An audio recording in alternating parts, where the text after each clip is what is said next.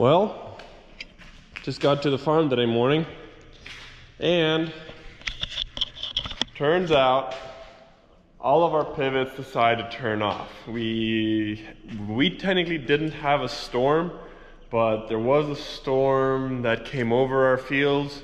So I'm assuming all the lightning and everything turned, turned and shut everything off. All the wells are off now. The pivots, our pivots are not running. So I have to quickly take this four-wheeler here. I'm gonna drive everything around again, turn everything back on, and hopefully it's not gonna turn off again. It shouldn't, but I mean, we are getting some clouds. It's getting a little bit cloudy here and there. We had a sprinkle in town, but we're kind of far away from town. So no, we haven't received any sprinkling or anything here yet. Would be nice though, would be nice to get some rain, but for now, I'm gonna go turn on all of our pivots again. And since this was on, all I have to do is just re-push in the button and it should turn back on. And the good thing about this little pivot is that when the electricity hits it, or, or not electricity, when the lightning hits it or anything, it'll always, because everything is on auto, it'll always turn itself back on, so I don't have to turn this pivot on. And now our pivots are up and running again. And the only thing left to do is to just open all these, or just to make sure all these tips are still open. But I'm gonna leave my little brother to do that. I'm gonna go turn on another pivot on that section. And now this pivot's back up and running. And while we're here pulling out another well, gonna check up on our corn here.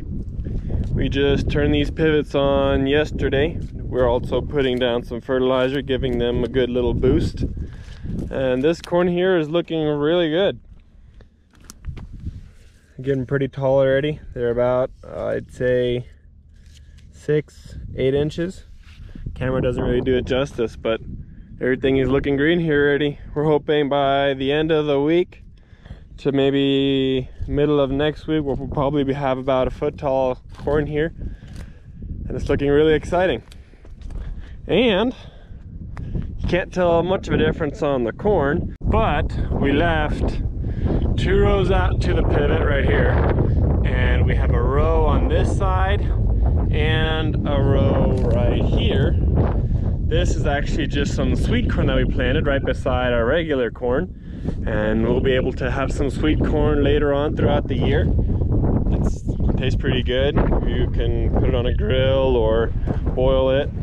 It tastes really good. So we planted some sweet corn for ourselves here. And we'll be able to have some good, good tasting sweet corn by the end of the year. Well, we're out here a couple days later and we're hoeing out some pie melons.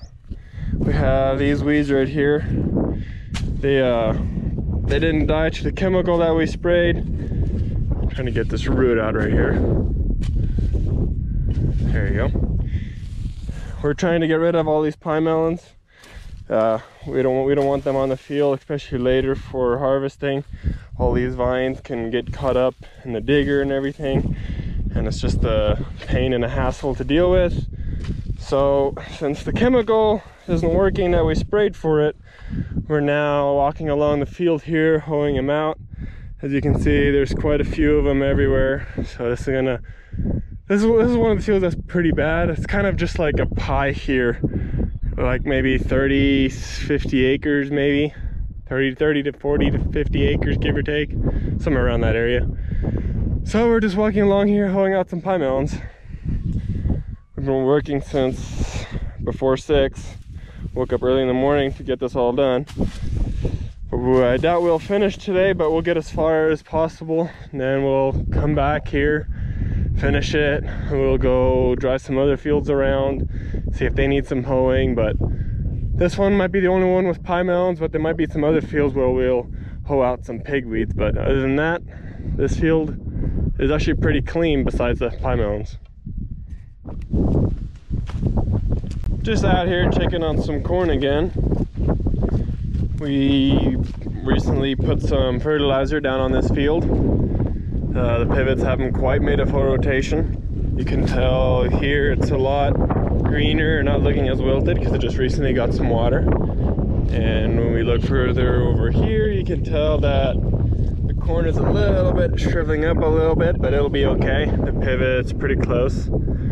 It's gonna be here in the next day and a half, I believe. So this corn will be fine until then. Then it'll get its nice two inches of water. But uh, as for this corn here, it is looking really good. Looks like the fertilizer it's doing is it's fertilizer is doing its job. They've gotten pretty tall already. They're oh I'd say put my foot here for comparison. I'd say it's about to the top of my boot. My boot reaches about right here.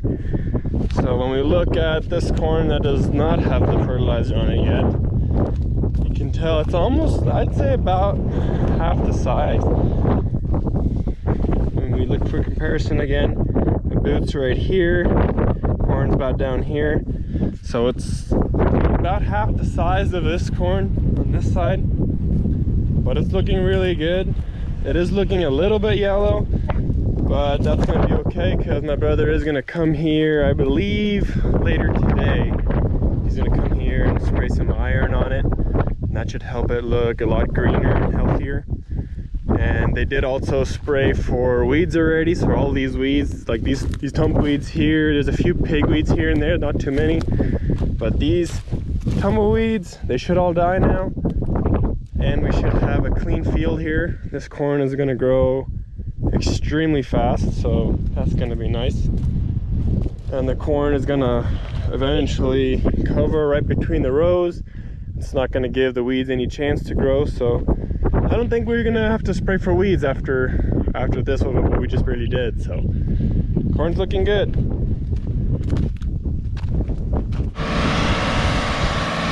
Rinsing out the sprayer and another rinse We just filled it up with water again using some of this wipe out. This will, uh, may, uh, any chemical that's in the boom, it'll neutralize it. So we're just rinsing it, rinsing it again, and we'll go ahead and do a third rinse. Well, we just had a leak in this hose right here. This hose bursted on us, so we'll quickly fix that one.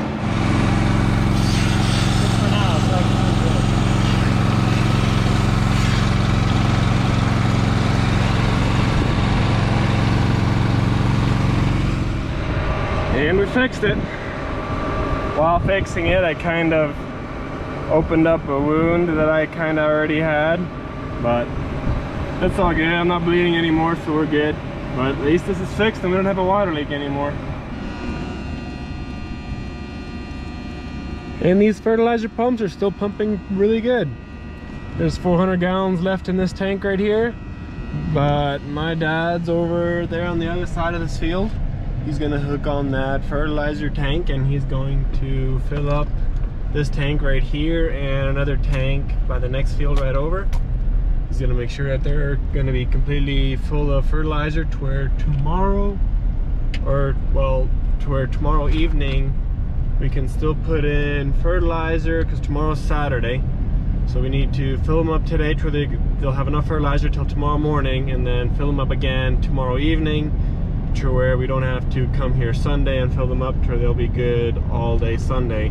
Then come Monday, then we can fill them up with fertilizer again. So while my dad does that, I'm gonna go check up on a few peanut fields and then go turn on a pivot. There went my brother. He's gonna go spray the corn with some foliar feed or some iron and some little bit of fertilizer. So he's headed out to go do that, and I'm just pulling up here on this field. Gonna go check up on some on these peanuts right here. So out here looking on the peanuts. And what are we sitting at? Let's see. That's about the edge right there. We're sitting at a good 16 inches. 16 inches wide so far and about right there and we're about 18 inches uh, I guess eh, around 18. I'd say around 18 inches from overlapping. Really good whenever the peanuts, they will overlap themselves from in between the rows. They'll, they'll get so wide to where you won't even be able to see the dirt in the middle. They'll be covering each other, so we're not too far behind on overlapping. Should be, I'm hoping soon, maybe in the next month, month and a half maybe, then we can we can start seeing these peanuts overlapping each other and that's gonna look really beautiful. This field looks really good, really happy with it. Let's go check on a different field. What do you think of that green field? Well, that already looks beautiful. Now this is what I wanted to come look at and I'm starting to get really happy about this. As you can tell, these peanuts are actually quite green. If you would have seen these peanuts oh, about, I'd say about a week ago, they would have been very, very yellow up on top of this hill right here. They are still a little bit yellow, but we also sprayed some iron on this field and they say it's supposed to give an effect in about one to two weeks and you can already see a difference. This right here was already very, very yellow, but you can already tell a difference that it's doing wonders on these peanuts here. They're already looking a whole lot greener and healthier. But as for, I guess there's a little spot right there on top of that hill and a little bit right here, which that's probably not even more than an acre, maybe about an acre worth. But the that iron that we put on here sure did a good job because these peanuts are looking a whole lot better now now that we after we sprayed it. So this is just what I wanted to come check up on. I wasn't sure if it was doing its job yet or not, but it looks like it is, and I'm happy with it. So I'm gonna go turn on the pivot. GoPro battery just died. So I guess I'll just use my phone again. Just walking along here, opening some tips. Other than that, this pivot is up and running again.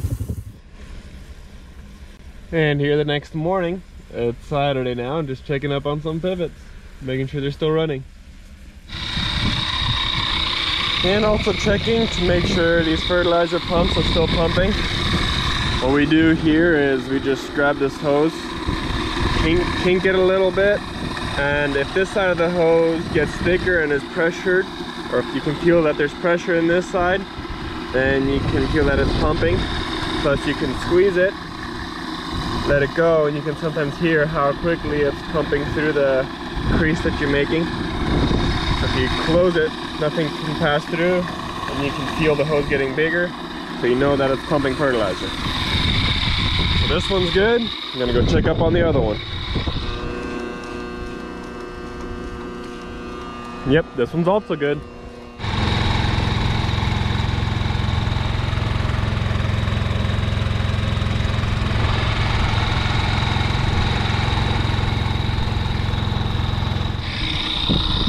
Just filled up this tank and now I'm filling up this tank. And now these two tanks should be good till Monday morning. So I just helped my brother spray a little bit. I didn't do any spraying, but I helped him spray all I did was take my shovel, threw some dry dirt in the air just to see which way the wind was blowing because we have cotton right beside our peanuts and we are now killing all the cotton, or not all the cotton, we're killing all the weeds on the cotton. And the chemical that we're spraying on the cotton can and will destroy and just fry the peanuts. So we had to be careful to where the wind was blowing the right way. And the wind decided to be a little bit crazy right now. It would blow, it would blow, uh, okay, it would blow west for like 10 minutes, and then like the next second later, it would be blowing east, and then it would turn around five seconds later and blow north, and it would, it would just be going back and forth, so we constantly had to watch it to make sure the wind was blowing the right way. But we got that all done. Now I'm gonna go turn on one pivot and then call it a day. I just finished turning on this pivot right now. Uh, this pivot or this water was going to the pivot right over. We're watering the cotton on that side, but now the peanuts need more water. So the peanuts are more of a priority right now than the cotton on that side. So we switched it over to water the peanuts again. And then not sure what we'll do yet depending on how hot it gets we will probably water the peanuts and then switch it over back to the cotton not sure yet what we're to do with that but for right now the peanuts desperately need some more water so we switched it over but i have been showing a lot of our peanut and corn fields lately so i'm going to show the cotton some love too and show you how some of our cotton looks this is probably one of our better cotton or not the better cotton but the better looking cotton it is a little bit taller than some of the other fields. This is one of those Stoneville varieties. This is doing actually really good so far for as how little water there is here. There's not much water in this pivot right now. Uh, it's kind of very minimal. But I mean, this cotton is still looking really good. I mean, you can tell that it's very hot and dry as they're kind of hanging, hanging down a little bit. The leaves are sagging down. But other than, other than that, this, this cotton is looking pretty good. It's actually quite tall. I like it, it looks really good. It doesn't look like this everywhere. This is a better spot on the field. But this spot right here particularly looks really well. I really like it. But the corn, or not the corn, the peanuts on the other hand, uh, some of the chemical that we're spraying on there is not doing its total job, I guess you could say.